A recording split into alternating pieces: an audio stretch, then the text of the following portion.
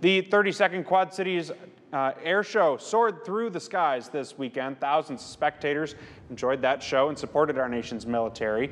Davenport's own Captain Sam Larson commands the F-22 demo team at just 30 years old. Besides the Thunderbirds and F-22s and other planes flying high, people enjoyed a flight simulator there too and several military displays.